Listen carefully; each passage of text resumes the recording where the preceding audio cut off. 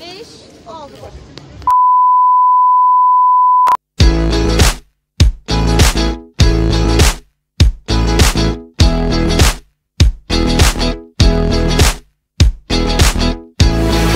Hello everyone welcome back to my channel it's Nan အားလုံးမင်္ဂလာပါ Nan Story Channel မှာပြန်လည်ကြိုဆိုပါရစေဒီနေ့မှာတော့တူရကီမှာ COVID-19 vaccine ထိုးတဲ့ကိစ္စနဲ့ပတ်သက်ပြီးတော့ အတွေ့အကြုံလေး share ချင်လို့ပါအခု6လပိုင်း15ရက်နေ့နောက်ပိုင်းကစပြီးတော့လူတိုင်းကိုသူတို့ကအခုထိုးပေးနေပြီ e-nabis လို့ခေါ်တဲ့ website ကနေပြီးတော့ကို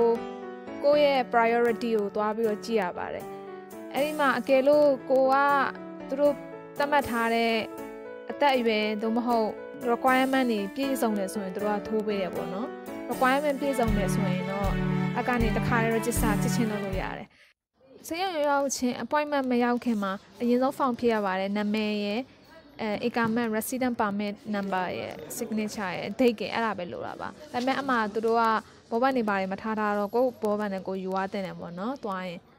နဝင်ရွေးတဲ့ save vaccine မျိုးစားနဲ့တခြားမျိုးစားတွေအကုန်လုံးကိုလည်းဒီဗီဒီယိုအဆုံးမှာဖော်ပြတော့မှာဖြစ်ပါတယ်။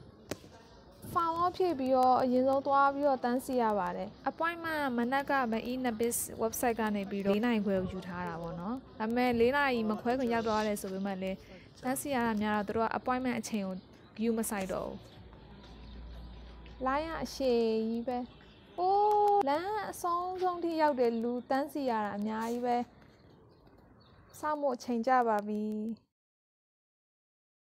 One eternity later. မိနစ်30လောက်စောင့်ပြီးတော့မှနည်းနည်းနီးွားပြီအခု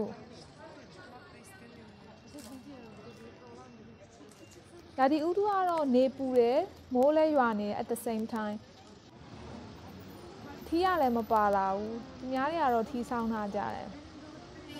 မန်နေကေကဒီယာရာဒီဥတုကပစ်ကနစ်ထွက်မဲ့ရာဒီဥတုမျိုးဖြစ်ရမှာမိုးကရုတ်တရက်ဖွဖွဲလေးကြလာတယ်ခုနကဖောင်ဖြစ်တဲ့နေရာကိုပြန်ရောက်လာတာ ဒီဆေးရုံက government hospital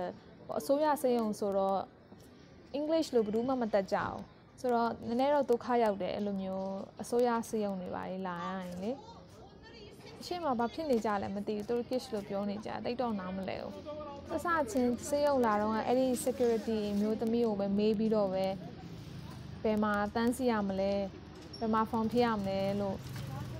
သူကလူလိုက်ရည်နေတာ တခါကို6ရောက်ဝင်ခွင့်ပေးတယ်ဒီစေယုံနဲ့ဝင်ဖို့အဲ့ဒါချိန်ကြပြီဆိုတော့ let's go စေယုံထဲမှာအခန်းတွေကအများကြီးရှိရပေါ့ဒါမဲ့လည်းဘယ်သွားရမှန်းမသိဘူးအရှိကပန်းရောင်နဲ့အမျိုးသမီးနောက်ကိုပဲတကောက်ကောက်လိုက်ပြီးတော့သွားလိုက်တယ်ချစ်ချင်တော့အခန်းကမဟာရှိရောက်သွားတယ် ရုတ်တရက်ကြီးအမ NAS ကလာခေါ်လို့အမအမြန်မြန်သွားပြီးတော့ငါလည်းမသိပါဘူးဖောင်ပြန်တောင်းတာပါမမဟုတ်ဘူးအားနဲ့ဖောင်အမြန်မြန်ပေးလိုက်ရတာပေါ့ပြီးတော့ပြီးတော့ပြန်ပြီးတော့အဲ့ဒီနောက်တကယ်အခန်းရှိမှပြန်တဆောင်ရတာပေါ့အဲ့ဒါနဲ့သူတို့ကဖောင်ဝေါယူပြီးတော့ဖောင်စီထားတဲ့အတိုင်းပဲနာမည်ခေါ်တယ်ပြီးတော့ဒါပါပဲဘာမှကြောက်စရာမရှိဘူး။ နောက်ဝင်ရွေးတဲ့ဆေးက Pfizer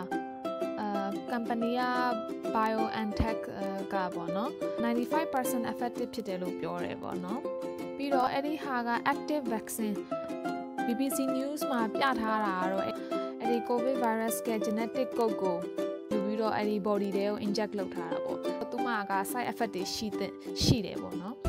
တူရကီမှာဆေးနှမျိုးရှိတယ် Pfizer ရဲ့ Coronavac ပေါ့နော် Coronavac ကကြတော့ Beijing company Sinovac ဆိုတဲ့ company ကထုတ်တာပေါ့နော်သူကကြတော့ပိုးရဲ့ particle အပိုင်းစားတချို့လေးတေပြီးသားပိုးပေါ့နော်အဲ့ဒီဟာကို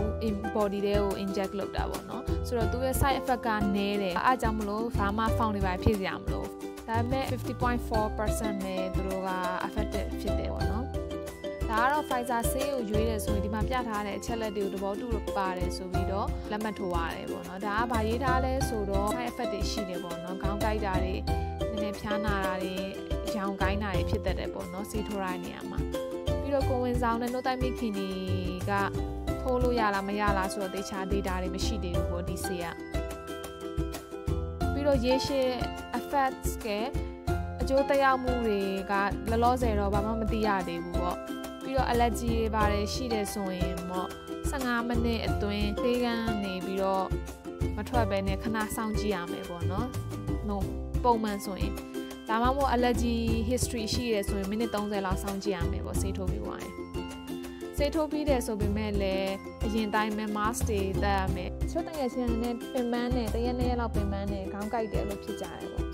ဒါကတော့ကိုယ်ခန္ဓာကိုယ်အခြေအနေပေါ်မှာမူပြီးတော့ဖြစ်တာပါဆိုးဆိုးဝါးကြီးဆိုရင်တော့ချက်ချင်းပဲသူတို့ စေယုံတင်ပေးပါတယ်ဒါပေမဲ့လည်းနောင်ဝင်ကတော့ဘာမှမဖြစ်ဘူးအဆေးကပုံမှန်ဆိုနှစ်ချိန်ပဲထိုးရဒါပေမဲ့သူတို့က၃ချိန်ထိုးခိုင်းတယ်ဒီတစ်ခေါက်ကြတော့တစ်လခွဲစောင့်ပြီးတော့မှဒုတိယအချိန်ထိုးဖို့ကို schedule လုပ်ပေးတယ်ပေါ့နော်နောက် final ဆေးထိုးဖို့ကြတော့ဒုတိယတစ်ခါထိုးပြီးတော့10ရက်ကြာတော့မှထိုးရပါတယ်အဲ့ဒီဆေးထိုးတဲ့ဟာမပြည့်ခင်ကြားထဲမှာနိုင်ငံခြားကိုထွက်ပြီးတော့ခရီးသွားလို့မရပါဘူးဆိုတော့ခရီးသွားချင်တယ်ဆိုရင်ကြိုပြီးတော့ပြင်ဆင်ကြပါ ဒီ vaccine appointment ယူတဲ့ link ကိုတော့အောက်က description မှာရေးပေးထားပါတယ်အားလုံးကျေးဇူးတင်ပါတယ်နောက်ပတ်မှာတော့တူရကီမှာပညာသင်ခြင်းနဲ့ကျောင်းသားတွေအတွက် scholarship နှမျိုးရှင်းပြတော့မှာဖြစ်ပါတယ် Nan Story Channel မှာပြန်လည်ဆုံကြမယ်နော် See you again next time bye